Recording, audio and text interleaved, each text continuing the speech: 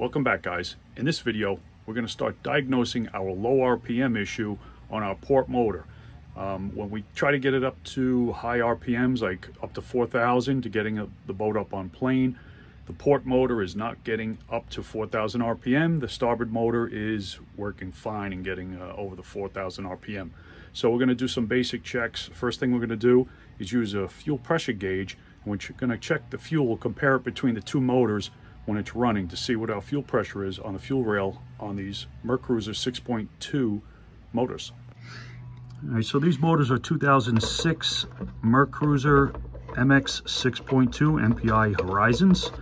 That was the standard motor on these Merc uh, Meridian 341s back in 2006. Of course, it's a gas fueled engine and we're going to find the fuel rail. This is the fuel line. It goes down around the back of the motor. That goes down to the cool fuel module and fuel pump.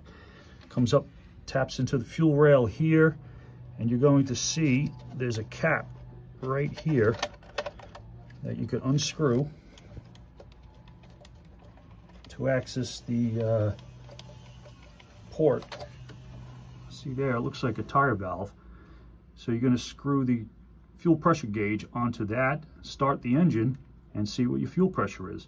So this is the starboard engine, and this is the one that is running fine. So we're going to compare the pressure on the good running engine to the one that's running a little bit low, see if there's any difference to the fuel pressure.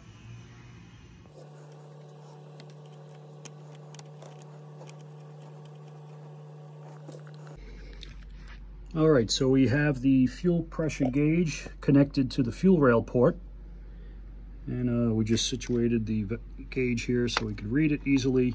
What I'm first going to do is just turn on the ignition to the motors up here. And what that does is pressurize the fuel rail. The pumps uh, pump some fuel into the fuel rail.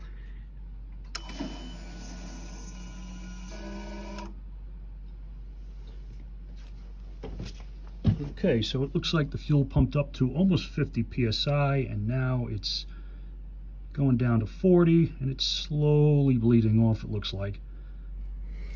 All right, so over a couple minutes, looks like we lost a couple psi on the gauge.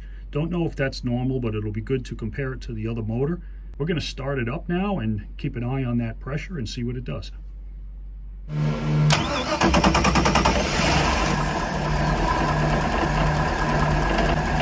right, look like we're holding steady at 45 psi. Starboard engine at 1,000 RPM.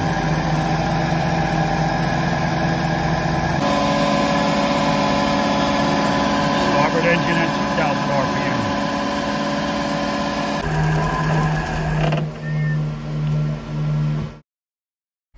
All right, so now we're going to uh, test the port motor.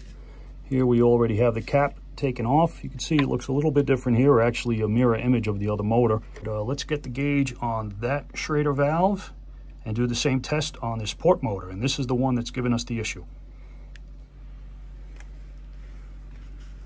All right, what you do want to be careful of when you're attaching and also detaching, especially when you're detaching this line, this uh, fuel pressure regulator or fuel pressure gauge on these rails is that the fuel is under pressure. So just be mindful of that. When you take it off, you are going to have some fuel leaking. So it's probably a good idea to have a uh, shop rag or something to catch that excess fuel around here so you don't make a mess and create a fire hazard. All right, I think we're all set here. So this is the port motor. Let's uh, turn on the ignition switch and see what the pump pre-pressurizes the rail to.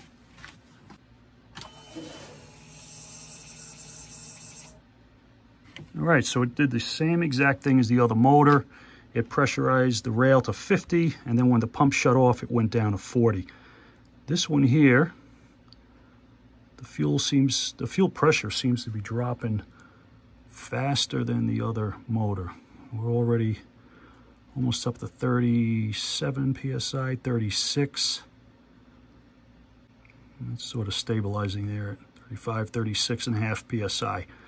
So it did leak a little, but it just seemed like it leaked some of the pressure back a little faster than the other motor. Uh, one thing I did notice is that, I don't know if you can see my finger, it's a little wet. Uh, some of the fuel is sweating through the fitting, so I could be losing pressure right here from this gauge. You want to check that down below. You can see I'm a little, little bit wet. Smell it, it's gasoline, so yeah, we're down to 35 now. So now it could be just that, or it could be, again, uh, leaking back to the pump or leaking through a clogged injector that's not closing all the way. But uh, let's start this up and see what the pressure is when it's running. I expect it to be similar to the other motor. All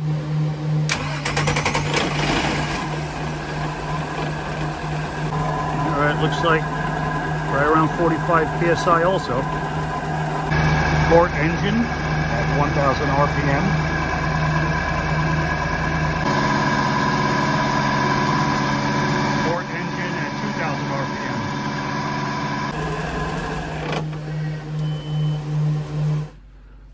All right, so same as before, the pressure is at 40 when it's at rest, but um, I don't see any real difference in the fuel pressure. I'll go back and look at these videos and see if there was anything different, but uh, we're gonna move on to the next step of the diagnosis. Our plan is to replace all the plugs, the caps, the rotors, and, uh, and then see how it runs after we do the basic tune-up. So stick around and we'll see you in the next video. Thanks for watching.